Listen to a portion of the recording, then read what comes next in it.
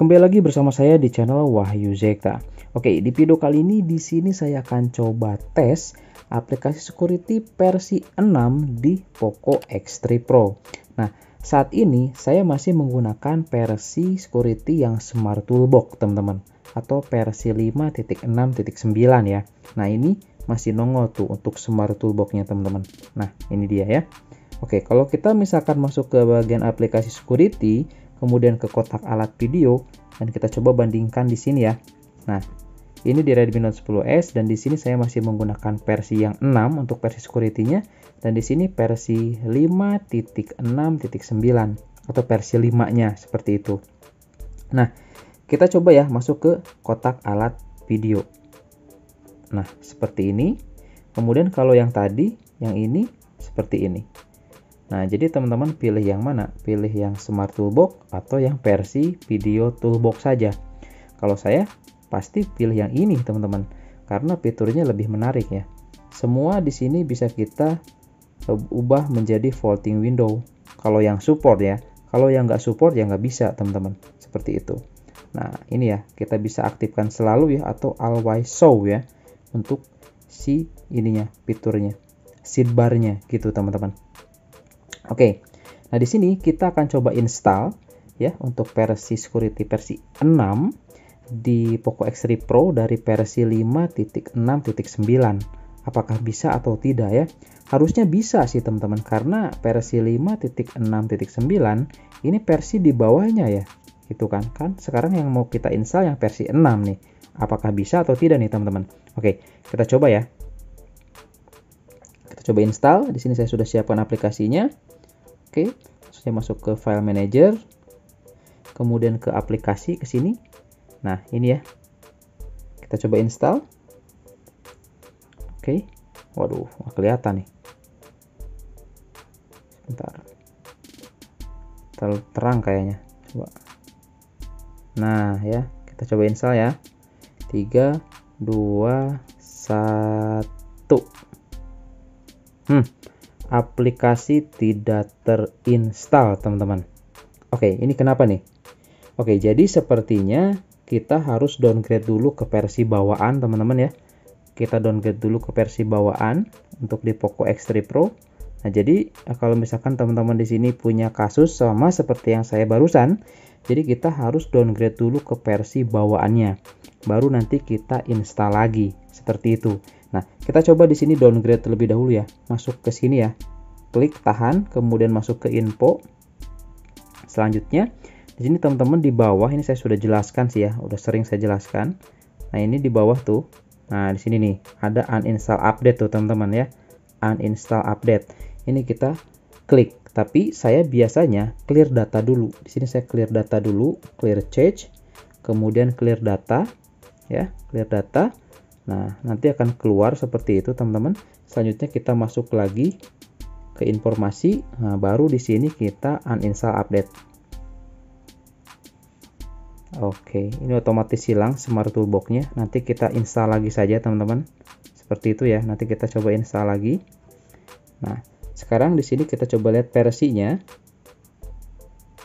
Oke, sekarang sudah di versi yang sama seperti sebelum kita install di Redmi Note 10s ya. Nah, ini teman-teman versi 5.5.1 ya. Oke. Nah, sekarang di sini baru kita coba install aplikasinya. Oke. Nah, di sini kita coba install. Kemudian kita install. Kita coba lihat. Nah, sekarang terinstall kan? Aplikasi terinstall. Seperti itu, teman-teman. Ini mudah ya. Jadi ya harus di downgrade dulu ke versi paling awal seperti itu baru kita install versi yang terbarunya. Oke, sekarang kita coba selesai dulu. Kemudian di sini kita coba lihat di versi security-nya. Nah, ini dia sudah di versi 6.0.3 teman-teman ya. Oke, udah di versi 6 lah intinya. Kemudian kita coba masuk ke aplikasinya, kita coba lihat. Oke, seperti ini tampilannya. Pengaturannya bahasa Inggris. Oke, kemudian kita coba di bawah. Nah, di sini bedanya langsung ada nih kelihatan ya. Kotak alat video, kemudian game turbo beda dengan di si Redmi Note 10s. Itu nggak ada ya, ini sudah ada teman-teman. Nah, di sini kita langsung coba lihat di kotak alat video ya. Nah, jadi seperti ini ya. Jadi nggak work di uh, Poco X3 Pro untuk Smart Toolbox-nya, teman-teman. Kemudian kalau kita coba masuk ke game turbo, ini pasti akan otomatis menjadi vertikal seperti ini. Kenapa? Karena sebelumnya saya sudah delete data dulu. Itu saya kenapa saya delete ya? Ini mungkin ada pertanyaan. Kenapa Bang kok di delete? Nah, saya untuk menghindari bug ya nantinya supaya tidak apa berpindah-pindah untuk si wallpaper, kemudian tema. Nah, saya lakukan seperti ini. Oke, jelas ya. Nah, di sini kita akan coba ubah lagi menjadi uh, horizontal, kemudian kita coba buat home screen seperti ini. Ini back, ini back, back semuanya. Ini sudah ada di home screen. Nah, ini kita balikin lagi ke tempat awalnya. Seperti ini, kita simpan di sini dan sekarang di sini kita coba masuk, teman-teman. Nah, ini dia ya. Kita coba masuk. Kemudian kita coba lihat di sini ya. Oke, ini dia. Apakah untuk uh, settingnya kita bisa masuk atau tidak? Teman-teman, kita coba klik. Oke, bisa ya. Ini sudah nggak ada bug ternyata di aplikasi security yang kali ini. Langsung nggak perlu kita harus menggunakan VPN lagi atau kita buat DNS eh, pribadi nggak perlu. Ini udah bagus teman-teman ya. Nah di sini kita coba masukkan game yang tadi ya Shimmerland kita akan coba tes juga di Poco X3 Pro. Mana ya tadi? Di bawah. Perasaan saya sudah install dah oh ini nih. Nah ini teman-teman. Kita masukkan nah sudah ada di sini ya gamenya Shimmerland Kemudian kita coba lihat di sini di bagian GPU settingnya. Oke, nah ini otomatis. Kalau misalkan kita tadi delete data, ini akan ke default lagi. Akan balik lagi. Seperti itu teman-teman ya. Nah, bukan berarti ini enggak permanen. Ini permanen teman-teman. Coba nanti akan ke default seperti itu. Nah, coba kita ubah dulu ya. Ini jangan tanyakan lagi ya. Ngerti? Kita coba ke custom seperti ini ya. Ke custom kemudian ke sini ya. Saya gunakan yang 720p ininya semuanya rata kiri. Optimalkan grafik. Sini. Oke mengoptimalkan gambar untuk meningkatkan kinerja GPU ini kita aktifkan. Nah selanjutnya di sini untuk setelan tambahan. Nah ini nih nih teman-teman ini bedanya ini. Adreno sama GPU nya punya Mali ya atau Mediatek. Nah ini di atas nih kedetek di sini. Di atas tuh kedetek tuh. Adreno GPU ya atau Adreno GPU ya. Itu kedetek ya teman-teman. Cimberland seperti itu. Kedetek. Nah selanjutnya di sini perbedaan yang lainnya itu di sini. Di bagian setelan tambahan. Oh sorry sorry.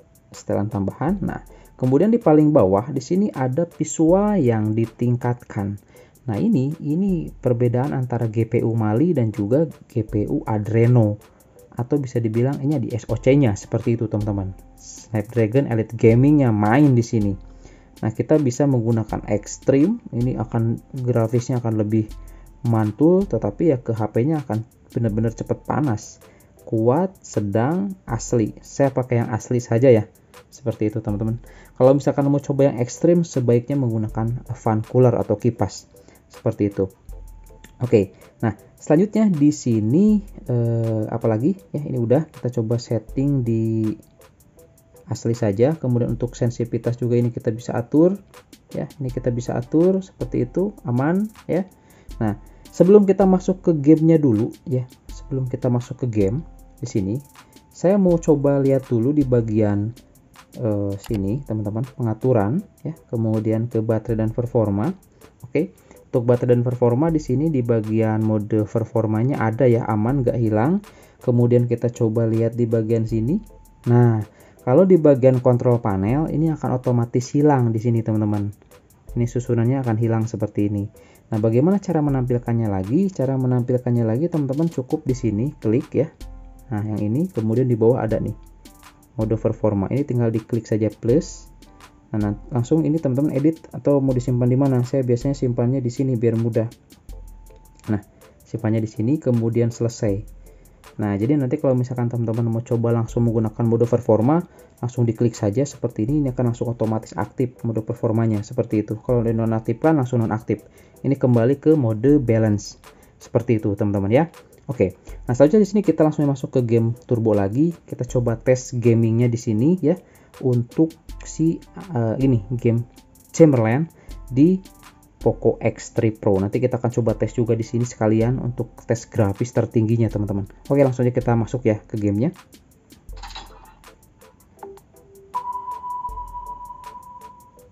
Oke. Nah, sekalian kita coba lihat UI-nya di sini. Nah, ini dia teman-teman, ini UI-nya. Ini untuk game turbonya. Seperti ini ya. Ini untuk performanya juga ada seperti biasa sama. Yang membedakan dengan di Redmi Note 10s. Nah, ini di samping yang tadi ya, di bagian setelan tambahan, di sini juga untuk voice change. Di Poco X3 Pro, Poco X NFC untuk voice change ini sudah support teman-teman. Udah ada ya, seperti itu. Nah, oke, okay, udah jelas ya di bagian ini. Kita coba saja di sini langsung masuk. Ini giroskopnya juga bagus tuh teman-teman. Lancar. Langsung saja masuk di sini ke gamenya. Nah ini teman-teman, ini karakter saya yang tadi ya. Jadi terkoneksi ya. Saya menggunakan akun yang sama. Kemudian kita coba masuk sini. Oke. Kita tunggu. Langsung saja di sini kita coba tes grafis ya. Oke, uh, lihat teman-teman ini grafisnya mantep banget. Uh, keren. Untuk GFS kita dapat 47 ya. Ini seperti kayak kelok gitu, teman-teman. Nah, dapat 47, 46 ya. Seperti itu untuk eh, FS-nya. Nah, kita coba lihat di sini. Uh, ini lihat lancar banget, teman-teman. Uh, ini grafisnya keren.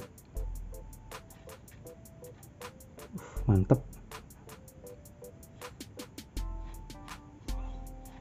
Uh, mantap ya. Kemudian kita coba lihat di sini di grafis. Kemudian ke setting grafis. Nah, di sini kita bisa ultra. Lihat di sini tadi tuh ya di uh, Redmi Note 10s itu kita rekomendasinya itu di sini nih. Di Equis apa nih? Bacanya gimana tuh? Exquisite ya. Di Exquisite nih. Tadi di sini rekomendasinya seperti ini. Nah, tetapi di Poco X3 Pro di sini kita punya rekomendasi di Ultra. Oke, ini keren banget teman-teman. Nah, bagaimana kita coba kalau kita rata kanan kan ya? Ini kita coba yang highness, kemudian ini kita custom lagi, kita buka. Kemudian di sini untuk resolutionnya kita coba di ultra, masih kuat teman-teman. Kita dapat berapa fps? 49 ya dia, 49 fps. Oke, kita coba back dulu ya. Kita coba lihat gameplaynya oke keren ini di resolusi tadi ultra untuk bagian resolusinya kemudian kita coba naikkan lagi teman-teman. Custom. Di sini kita coba naikkan lagi di sini di SUHD atau Super Ultra SD kita klik ini kita matikan. Seperti ini ya. Efeknya on on semua ini rata kanan semua. Oke ini saya tes di Poco X3 Pro. Lihat. Uh, ini grafis ya teman-teman. Lihat teman-teman. Mantep banget ini lihat grafisnya. Uh, uh ada burung tuh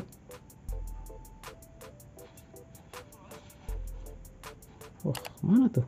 Hilang. Oh ini nih.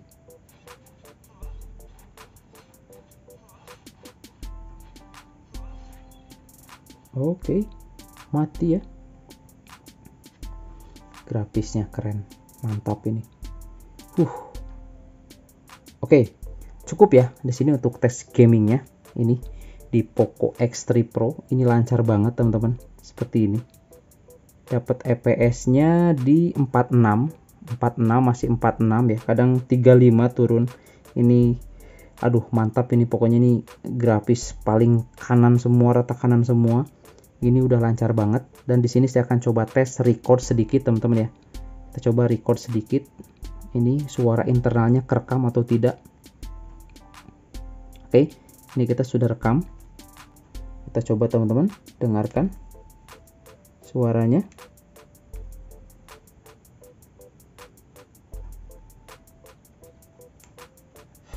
Nah ada ya. Ini suaranya kerekam. Nah ini untuk di uh, Poco X3 Pro ya. Tes record uh, audio internal dan juga tes record layarnya. Mantap ya. Oke. okay. Oke, jadi itu teman-teman ya. Di sini saya simpulkan untuk um, aplikasi security versi 6 ini. Jadi seperti ini. Kalau ya dipakai main game sih masih oke okay lah ya, lancar. Itu nggak ada masalah. Cuman di sini kekurangannya karena saya sudah terbiasa dengan tadi Smart Toolbox. Nah, jadi saya mungkin nanti akan downgrade lagi untuk aplikasi security ini. Saya akan pakai lagi yang versi Smart Toolbox, teman-teman seperti itu karena menurut saya versi tersebut itu masih jauh lebih bagus atau lebih stabil. Oke di Poco X3 Pro ya. Termasuk Poco X NFC juga di Redmi Note 10s sebetulnya juga sama. Itu bisa walk atau bisa aktif untuk smart toolbox-nya Oke, itu saja mungkin teman-teman ya di video kali ini. Kalau yang mau coba nanti juga saya akan simpan linknya di deskripsi box ataupun di kolom komentar. Oke, itu saja. Terima kasih sudah menyimak. Assalamualaikum warahmatullahi wabarakatuh.